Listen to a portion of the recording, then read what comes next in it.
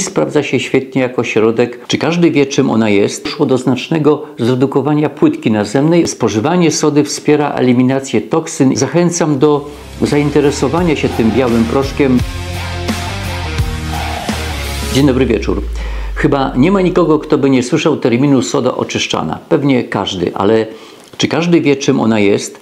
Chemicznie to wodorowęglan sodu, który ma mnóstwo zastosowań i znany jest jako środek usuwający plamy z tłuszczu i brudu.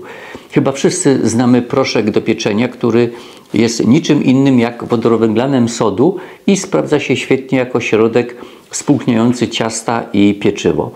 Związek ten z powodzeniem stosowany jest również jako preparat usuwający nieprzyjemne zapachy i to uniwersalne zastosowanie sody to nie wszystko. Soda oczyszczona jest bardzo korzystna także dla naszego zdrowia. Spożywanie sody wspiera eliminację toksyn i może pomóc w alkalizacji organizmu, czyli mówiąc prościej, oczyszcza go. Pomaga ona w neutralizacji kwasów żołądkowych, co łagodzi zgagę i niestrawność i uwaga, co może przydać się w sezonie jesiennym, soda łagodzi objawy przeziębienia i działa przeciwzapalnie, przynosząc ulgę w bólu gardła i katarze.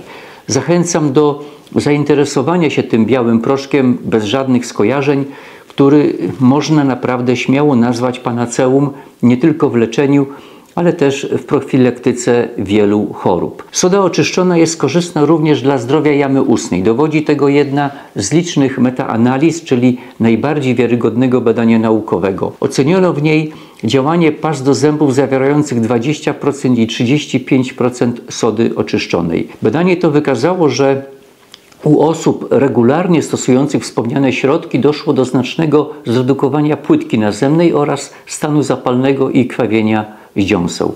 Warto dodać, że wyniki w przypadku past z samym fluorem nie były aż tak dobre jak tych z dodatkiem sody.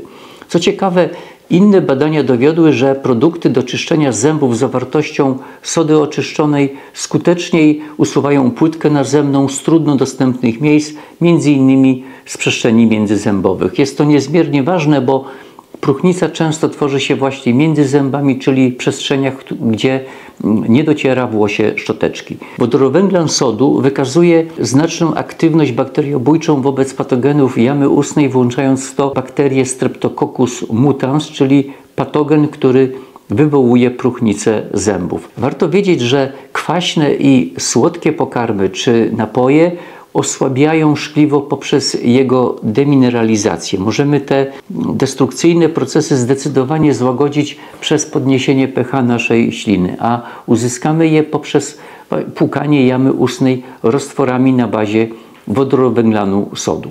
Możemy taką pukankę śmiało potraktować jako skuteczną i bezpieczną alternatywę dla specjalistycznych preparatów, których osobiście moim pacjentom nie polecam, ponieważ wiele pukanek niszczy mikrobiotę jamy ustnej.